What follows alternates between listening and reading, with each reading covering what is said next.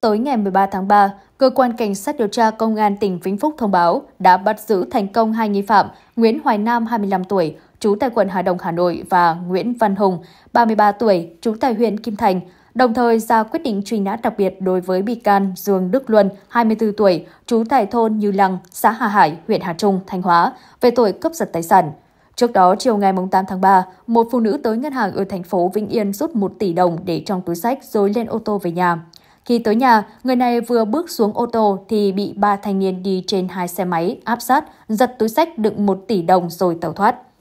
Công an tỉnh Vĩnh Phúc đã thông báo truy tìm ba đối tượng gồm hai nam giới đi xe máy nhãn hiệu Honda Vision màu xanh đậm và một đối tượng đeo kính cộng đen đi xe máy Honda Way màu xanh đậm.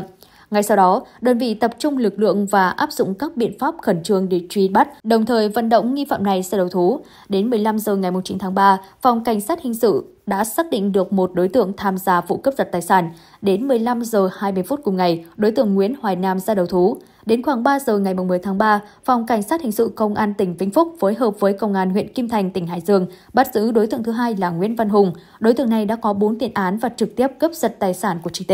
Còn một đối tượng khác là Dương Đức Luân đã bỏ trốn. Tại cơ quan điều tra, bước đầu Hùng và Nam khai nhận do nợ nần nhiều, thiếu tiền tiêu xài nên cả hai cùng Luân tham gia nhóm Facebook hội những người với nợ muốn làm việc liều toàn quốc. Sau đó, ba đối tượng nhắn tin riêng rồi gặp gỡ nhau để bàn bạc, thống nhất việc cướp giật tài sản của những người rút tiền tại các ngân hàng ở địa bàn thành phố Vĩnh Yên, tỉnh Vĩnh Phúc. Các đối tượng thống nhất Nam sẽ vào quầy giao dịch của các ngân hàng để quan sát, xác định khách, đặc biệt là nữ giới đến ngân hàng rút nhiều tiền, rồi thông tin qua mạng Facebook cho Hùng, Luân, chờ sẵn bên ngoài bám theo để cướp giật tài sản.